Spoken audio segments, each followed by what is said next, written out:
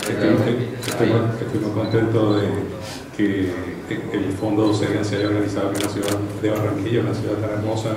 y que tiene tanto potencial. Uh, Eh, estoy muy agradecido con Pablo y con todos los organizadores por estar acá eh, y por haber organizado este evento tan excelente y al mismo tiempo eh, me encuentro muy contento por todos los fans de ciclismo de Colombia eh, que sé que aprecian mucho esta iniciativa. Durante el curso del Tour de Francia es eh, una competencia uh, muy intensa y estábamos realmente eh, profundamente involucrados en la competencia y no quedaba tiempo mucho para socializar. Más sin embargo, but, tuve la oportunidad de conversar con Fernando, fue con quien más hablé, eh, y también con Egan. Y eh, también pasé una- unas vacaciones hace un tiempo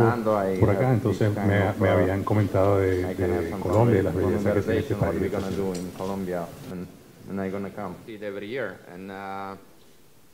Eh, durante toda la competencia del Tour de Francia eh, se pudo ver el liderazgo de la Philippe que eh, vistió la camisa amarilla durante la mayoría, mayor parte de la competencia, pero durante las últimas dos etapas y precisamente a propósito del cierre de la vía por motivos climáticos,